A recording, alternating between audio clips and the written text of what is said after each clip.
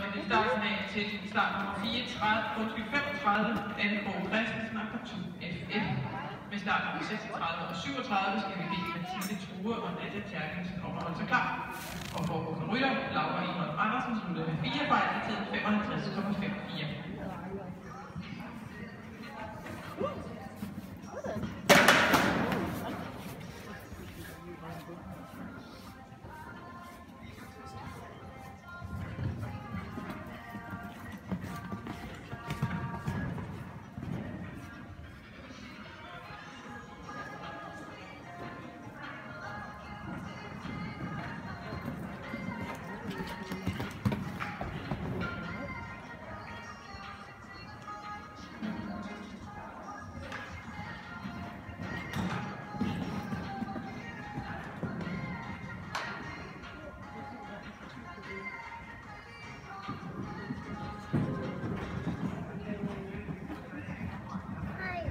Start nummer 36 skal vi se Mathilde True og Roda GPZ.